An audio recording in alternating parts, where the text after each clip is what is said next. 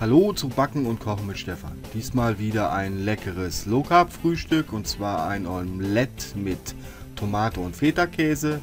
Dafür benötigen wir Basilikum, Tomate, Feta-Käse, Eier, Salz, Pfeffer und ein klein wenig Olivenöl.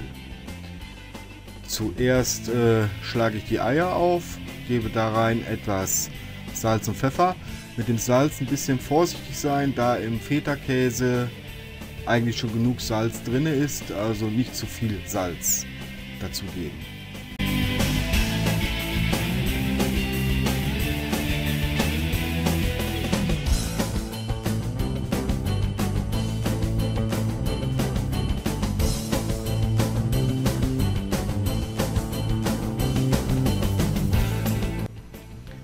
Dann filetieren wir unsere Tomate, also das, das Flüssige, das Kerngehäuse raus und schneiden das Fruchtfleisch in kleine Würfel. Die geben wir dann mit zum Ei.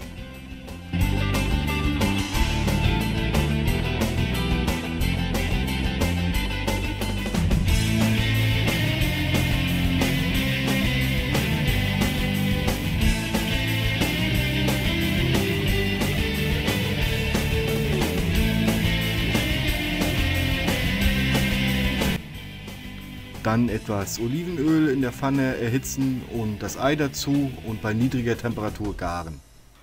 Die kurze Zeit, äh, die es dauert, bis alles warm ist, können wir schon mal das Basilikum fein schneiden.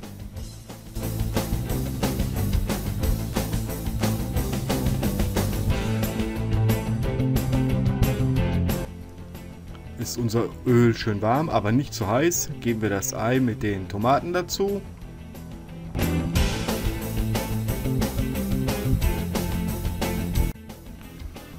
wenn unser Omelett langsam anfängt zu stocken, schneiden wir unseren Feta-Käse in kleine Würfel, vermischen es mit dem Basilikum und verteilen es auf dem Ei, also auf dem Omelett. Dann alles ja bei niedriger Hitze 5, 6, 7 Minuten, je nachdem wie lange es dauert, stocken lassen. Ja, und das ist eigentlich schon fertig.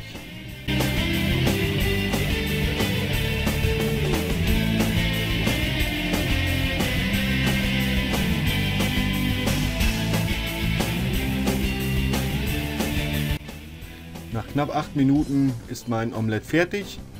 Wer nicht so lange warten möchte, der kann es natürlich auch in den Backofen geben und da kurz überbacken, damit es von oben schneller durch ist. Ich gebe es jetzt auf ein Brettchen, schneide es an und vor allem werde ich es probieren. Mein Low Carb Omelette mit Tomaten und Feta.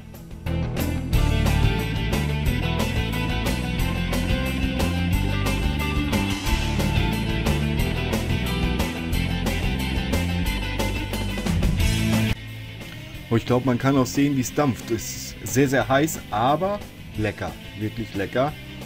Lohnt sich nachzumachen. Tolles, leichtes Frühstück. Ähm, ja, jetzt bleibt mir nur noch anzurichten und dann werde ich es natürlich verputzen. ich hoffe, ihr macht es mal nach. Äh, schaut auch mal nach meinen anderen Videos. Es gibt auch noch andere Low Carb Gerichte. Es gibt aber auch viele andere Videos, also es lohnt sich bestimmt. Schreibt mir Kommentare. Ich antworte auf alles. Versprochen ja, liked mich, teilt mich auf Facebook und anderen Plattformen, abonniert mich hier bei YouTube, freue ich mich besonders drüber. Dann bis zum nächsten Mal, lasst euch das schmecken. Tschüssi.